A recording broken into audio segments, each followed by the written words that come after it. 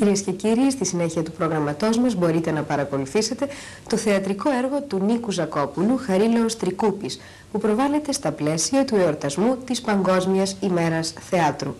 Παίζουν Κώστας Καστανάς, Κώστας Αρζόγλου, Άννη Πασπάτη, Γιάννης Ευαγγελίδης, Νίκος Κούρος, Τόνης Γιακοβάκης, Ορφέας Ζάχος και πολλοί άλλοι γνωστοί ηθοποιοί. Σκηνοθεσία Γρηγόρης Μασαλάς. Η διάρκεια του έργου είναι 170 λεπτά.